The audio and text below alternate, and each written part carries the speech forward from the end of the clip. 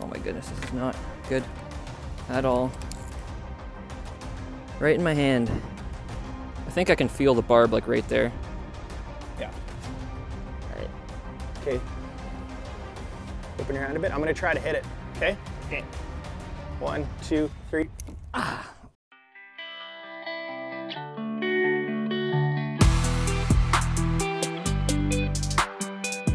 We are driving down some sketchy back roads. There's like just endless lakes around Kenora. I will not fish them all in my lifetime. But uh, we're going on a muskie mission. I got Brandon behind the camera. This time Brandon's gonna be fishing too. Brandon's never caught a muskie before. The fish of 10,000 casts. So we're gonna try to get Brandon a muskie today. We're gonna probably do a little head-to-head -head challenge, but uh, hopefully we don't get stuck. She's getting narrow, boys.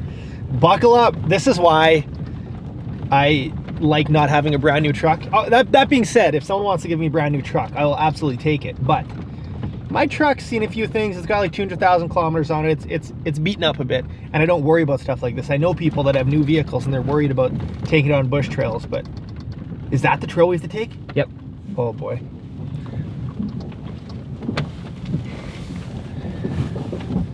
All that matters is you get in. Getting out doesn't, that's not important. Getting in, catching muskies, that's the important part. How beautiful is this? Unreal. We're gonna go catch some skis. Stop, stop, stop, stop, stop. Oh, this is gonna be a good day.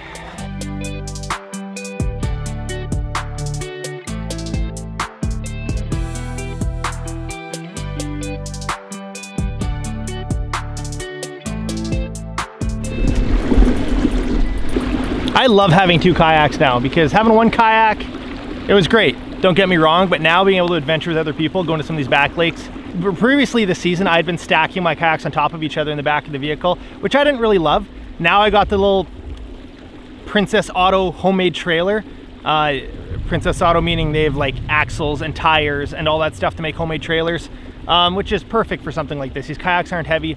I don't need to go out and buy some big industrial one. So uh, yeah, Princess Auto sponsors this channel and uh, want to give them some love. So if, if you guys are wanting to build a homemade trailer or need any of those type accessories, hit up Princess Auto.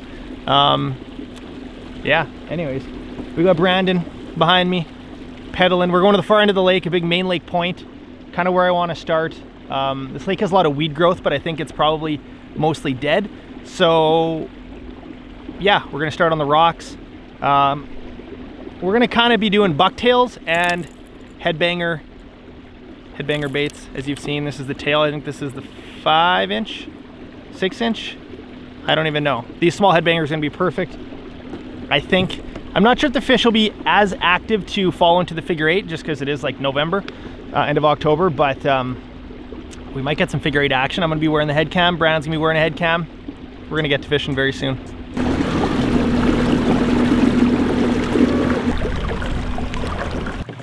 What do you want to start with? Bucktail or headbanger? I'll go with the headbanger. Okay, I'll throw a little bucktail. Okay. What's uh, what's the wager? Uh, two, two one. That's not a wager. Oh, oh, oh wager. Um, um, let's bet paycheck. A paycheck? double or nothing? Either you get Yeah. double time this week or nothing. If I catch more muskies than you today, then time and a half for a week. I feel like this just won't end well. No. How, about, Um, how about dinner? Okay, you can you can buy me dinner, right. cook me dinner, whatever you want, as long as it's McDonald's. All right. Sounds good to me. That's the one. That's the one. Perfect. All right, so we're gonna be using, uh, yeah, that's like a, a jerk bait, suspending style bait. Uh, I'll be using a bucktail. I, I think we can still catch them on a bucktail, like a small booker tail, smaller spinner. Um, we're each gonna be wearing head cams. If a fish comes out, we'll we'll pull the big camera out. But we each got a net. Um, but I'm just excited. We got like just it, when I saw this day in the fork, is I'm like, we need we need to go fishing. We need to go kayak fishing one last time. And that's what I love about kayak fishing. It gets you to these lakes that you can't launch the big boat in. So the first annual Jay versus Brando Muskie World Cup. We've got about eight hours to catch as many muskies as possible. Here we go. Here we go. All right, this is what I'm using. little booker tail, bucktail, white with the silver blade. Single treble, be easy to deal with need to unhook fish. And we're standing. All right, we're rolling. The World Muskie Cup. I'm gonna try to steer with my ankles. It's a little insider trick for you. All right, we are fishing. We are on the spot. We beat Brandon to the good spot. I'm giving you a one muskie head start, I've decided. What? I've got the power drive. All right. Currently is one to nothing for Brandon. You're that not confident in me catching a muskie? All right, we were casting the bucktail. We're just fishing shoreline. Nothing too crazy. There is a rocky point here. I don't know exactly where it sticks out, but I'm thinking these fish will still be shallow. I think I've told this story before on my channel. My buddy Sean Landsman is a fisheries biologist, and he's done a bunch of studies on muskies with tagging, like acoustic tagging, I think it's called, where you can actually follow where the muskie goes. Anyways, I asked him when I was fishing with him a couple summers ago, I said, so Sean, what's like the coolest thing that you learned while tagging these muskies that people might not know? And he said, people don't realize how shallow muskies can stay into the fall time. He said there's been times in November where they've seen muskies in like a foot or two of water.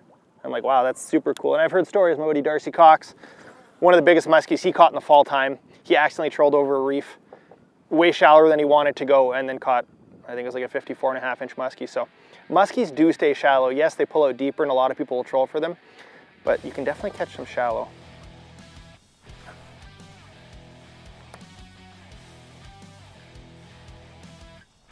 Oh, we're on, we're on. Yes, that did not take long. Oh, ooh, first muskie. First muskie. Come on. Yes. Yo, Brando! Fighting pretty good for a little fish.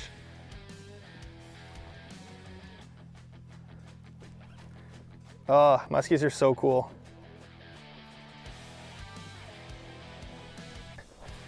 Well, we'll just scoop it like this maybe. Yes, we got him. Oh, don't roll, baby. Even with a smaller fish like this, it is nice to have that big net. All right, we got Brandon over here. Camera's been rolling for 12 minutes on my head cam, and like half of that was talking. So five minutes in, and we got a muskie. It is now 1-1 since I gave Brandon a head start. Just keep that in mind. Oh, muskies are so cool. Even when they're little, they are cool fish. Beautiful, sun glistening in the Old Town kayak, and we're catching muskies. Oh! what a beautiful release. Every cast, I'm doing something called the figure eight, where I do a big circle, but essentially I'm reeling the lure right to the rod tip and then doing that formation in the water, and so often muskies will follow right to the kayak or the boat or whatever you're fishing out of. But that's probably the biggest difference between them and pike. Pike, you can catch them in the figure eight. I've caught pike in the figure eight, but more likely they just kind of spook away beside the boat. Muskies just don't care and they feel like the bait's cornered, so they'll come right beside the boat. And you can catch them. Catch them right there. Ooh, there's one.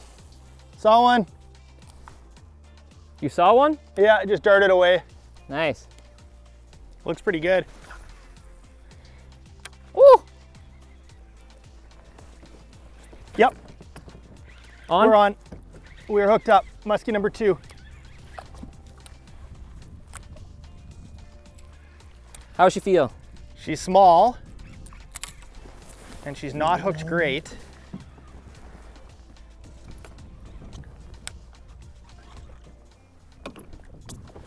Look at. Get in the basket. They're still like. Number two.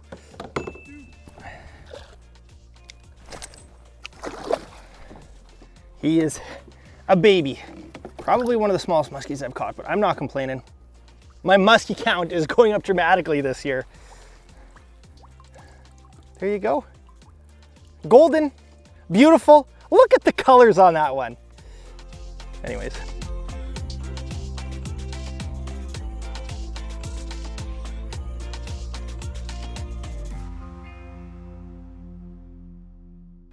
Some nice rocks where that fish came off. You can see it's just a little rock here on this point. Yep.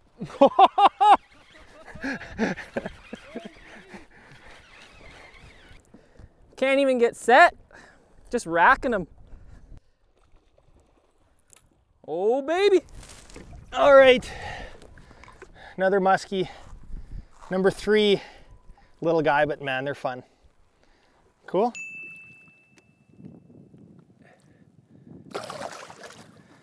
She gone.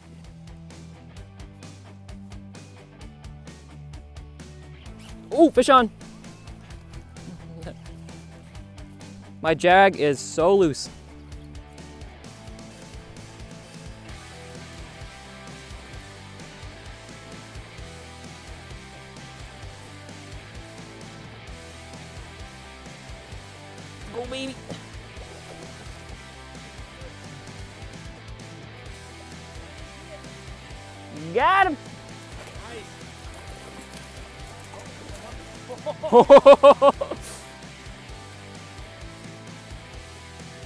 Brandon, we did it. first muskie. There we go. Nice, buddy. Good job. Hey, I do not care about the size. Muskies are cool, any They're size. so cool. All right. It's like catching a 12 inch walleye. Well, kind of. Kind All of. he's, he looks like he's just gonna thrash as soon as you let him go. All right, you good?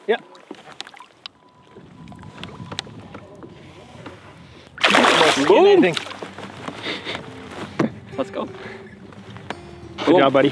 What is it? Uh, three to two. Three to two. Four muskies caught. And we've What time is it? we've only been fishing for what? An hour? An hour? Not even. Four muskies. That's not bad. For a pretty couple hack job muskie anglers like us. When you take a kid fishing like Brandon, it's so important to give him action because if you take him to a place that's tough to catch muskies, he'll never want to muskie fish again. But now you're just like, you know, dipping your feet into the water, entering the world of muskie fishing. We'll go to a tougher lake and, and experience some pain yet, but uh, just to, you know, learn what muskies, you know, uh, what type of structure they hold on, how they react to both side, you know, figure eights and stuff. It's, it's cool to, uh, to do the backcountry thing sometimes. And uh, it's not all about catching big fish. Thanks, Dad. yeah. So we're four muskies. My best muskie day ever is seven muskies with Mr. Kevin Neufeld. You've seen him in a couple videos, a couple hunting ones. And Aaron Wiebe, Mr. Uncut Angling. And we were fishing on Lake of the Woods, had a seven muskie day. And that was actually the day that Aaron asked me if I wanted to start filming Uncut Angling with him. Came back after catching seven muskies, feeling good. It was three days before school was supposed to start actually. I was gonna go to photography school in Winnipeg. And this was like my last hurrah fishing trip before I went to, went to photography college. And Aaron pulled out his laptop and he showed me a pilot episode of Uncut Angling. Showed it to me and I was like, that's awesome.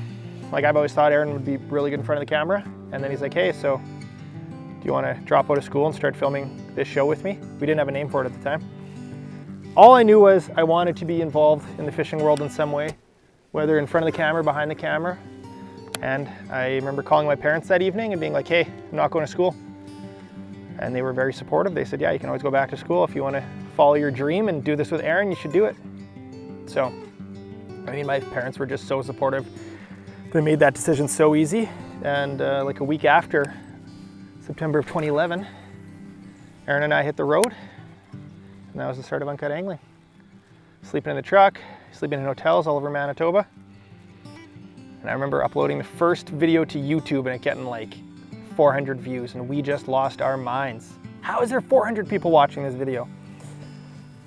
Called Unstumping Crappies. And that was where it all kind of began. So anyways, that's what's tied to my most musky day.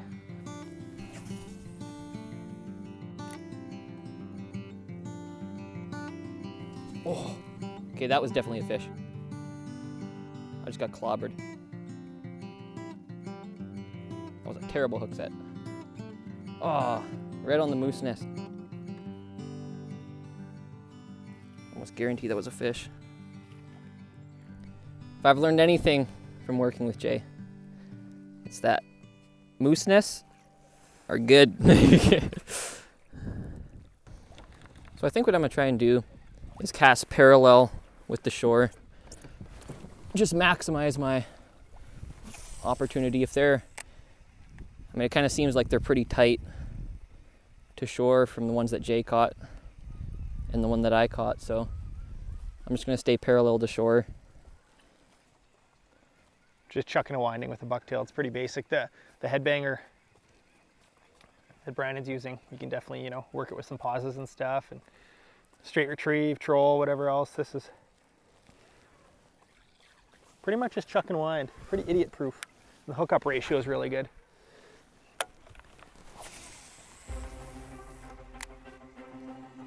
Jay can go, oh, fish on, fish on. Sorry, I was not ready. I was not prepared. We are hooked up. Well, that's actually a nice one. Or nicer one than what we've been catching. Oh boy, he's barely hooked too. I'm sorry for my hook sets today. We are hooked up. Oh baby. Oh my goodness. Oh baby. Oh my goodness. Oh my goodness. Don't shake those hooks. Oh my goodness. Come on, baby. Come on, baby. Got him. Oh, baby. Muskie number two.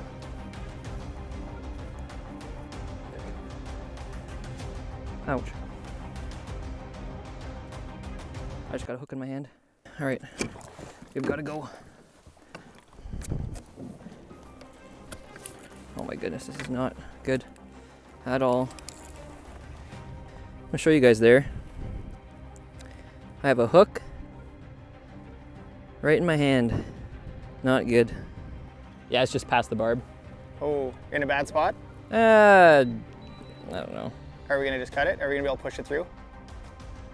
I'm not too sure. I've never got a hook up before. Oh boy. it's pet, yeah. I should have, uh, I wish that, uh, yeah, Ah, I, I should have left is- pliers with you. It is what it is. Brutality. All right. You just crushed it. Nice. Muskie for Brandon. Only cost him his thumb. There we go. So it depends on your what you want to do. I mean, there's a couple options. There's a trick that involves using braided line and pulling it out. I've never done it before. Um, I wouldn't feel comfortable doing it until I have a chance to Google it, so we might have to go out there. Okay. I don't have a good. Have you tried pulling it out already? No. Do you want to try pulling it out with pliers? Do you want to get a nice picture first while it's in the thumb? Sure.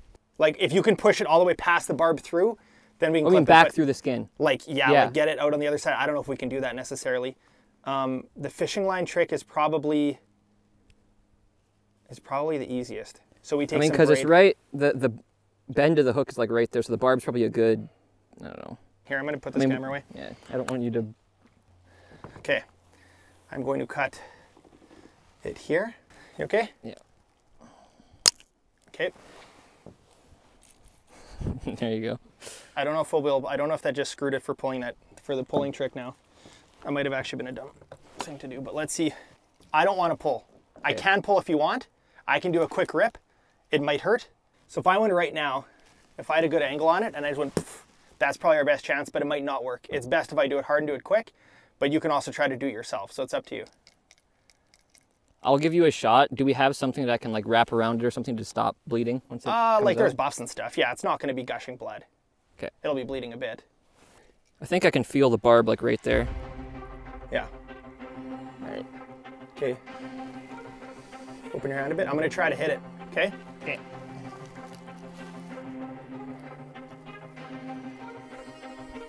One, two, three.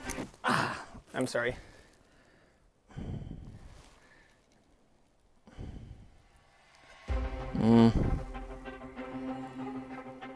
Do you want to give it another go? I can try. Okay, just look away. Got it.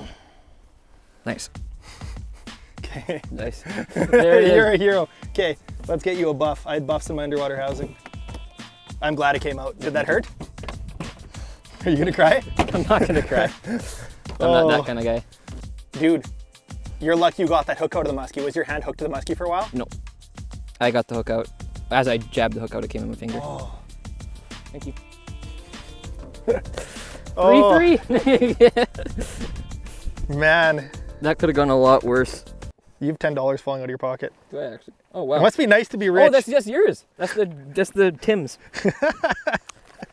It's your money. Oh, I'm sorry for leaving you around the corner. No, like, it's all good. I, uh, I was like, oh, whatever. Like, he, I, I was, I forgot that you didn't have pliers. I knew you had all the tackle back there, but I, we have two pairs of long pliers I brought specifically. We got a thumbnail. That's the important part. yeah, that's right. Let's see if we can catch a muskie. Gave Brandon that shoreline because it'll give him a nice drift. Those with the you know pedal style, you just want to keep in mind what the wind's doing and it can set you up for a drift. Obviously, being motorized like I am, it's a little easier to work against the wind or sideways with the wind and everything. But when using the pedal pedal version, especially if you want to be if you're using the pedal version, especially if you want to be you know standing and fishing, then uh, you want to use the wind to your advantage.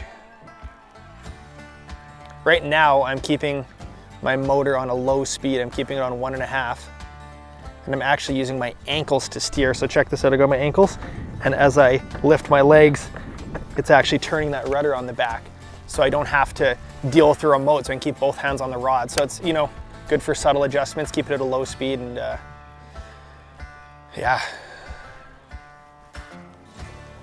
We've not seen a muskie in a while since Brandon got hooked in the finger.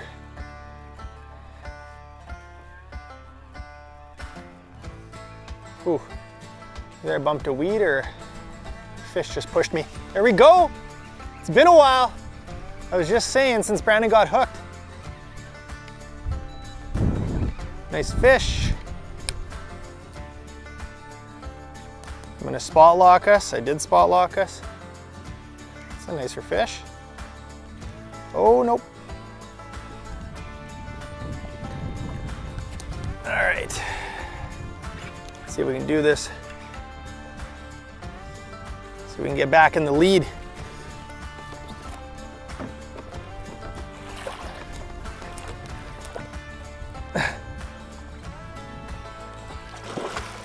Nice.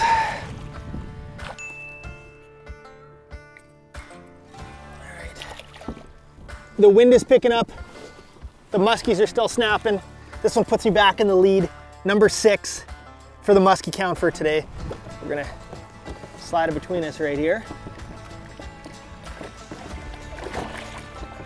She gone? Yeah, that little booker tail is doing it. It just rips by their face. This is more of like a, a summertime technique using something like this. We're kind of just beating the bank and catching fish.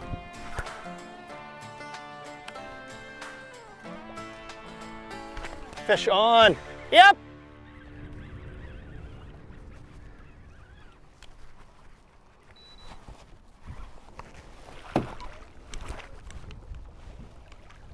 Nice. Stan. All right, muskie number seven. We've now tied my best day for most muskies. Maybe not the biggest, but we're having a blast in the kayaks. Pretty cool.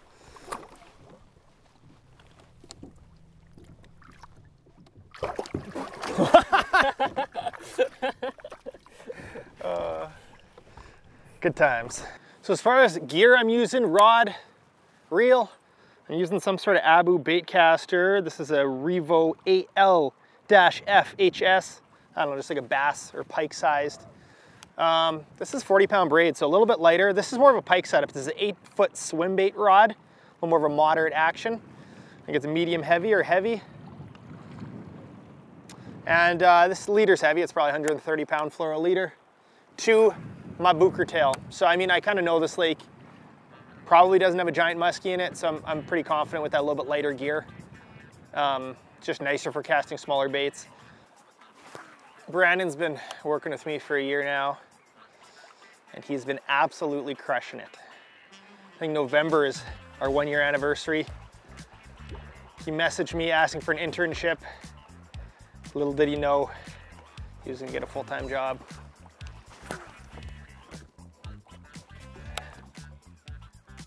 Yeah, ooh, that's a nicer one. Maybe it's not nicer, but I saw him eat it. That was the first one I've seen eat.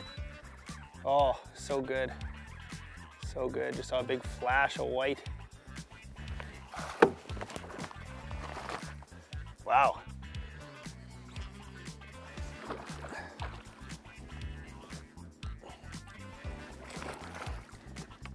So cool seeing him eat. Just came up behind him. All right, guys. That is muskie number eight for the team. So good.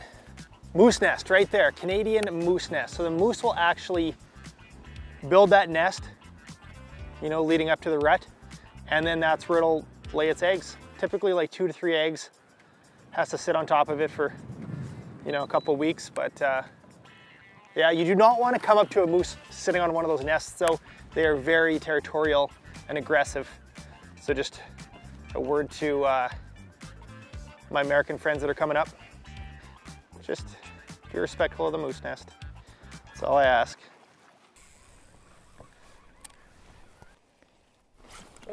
Fish on!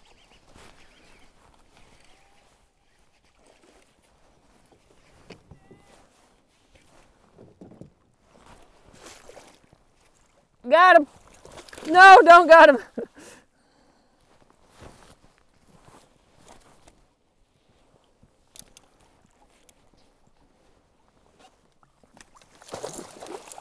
Number nine! All right, here's muskie number nine. There he goes. Well, guys, we got nine muskies. We are so close to double digits. I think we're gonna do it. Yeah, it's like 2.30 in the afternoon. I think we start at 9.30. So we're having quite the day. This is so fun. What a good way to end off the season if this is our last time on a on the soft water.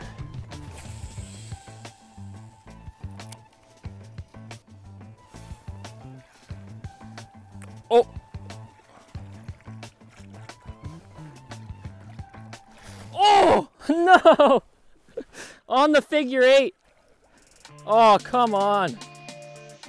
That was crazy.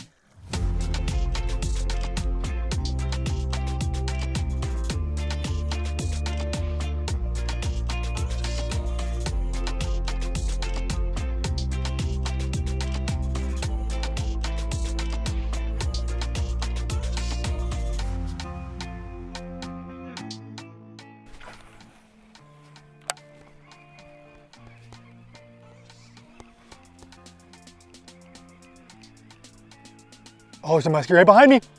Oh! I can see him. There he is. Still there. Oh, come on. Look at this, guys. This is so cool.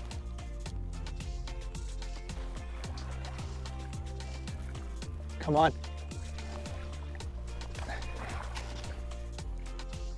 How cool was that?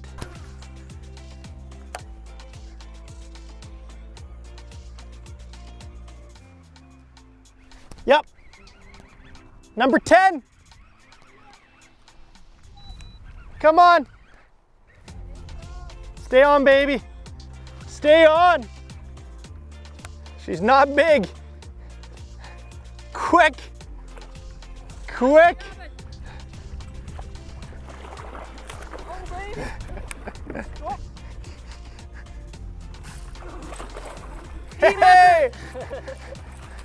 Nice. Number 10. We set out with a mission to get Brandon his first muskie. We did that and then some. Brandon also got his first barbed hook in the hand. And we caught 10 muskies from the Old Town kayaks. Not big, so much fun. Brandon floating away. it's like we're gonna bring you back in. Brandon, was it worth getting a hook in the finger to catch 10 muskies? 100%. 100%. 100%. It was worth it. 110%. Not even a question. Guys, such a good day with Brandon. Brandon does so much behind the scenes. He doesn't get nearly enough credit. Editing, dealing with my crap on the daily. But anyways, here we are catching some muskies. Huge shout out to Brandon on his first muskie. And uh, don't forget to wear your life jackets and just enjoy the rest of this beautiful fall weather. Thanks for watching, guys.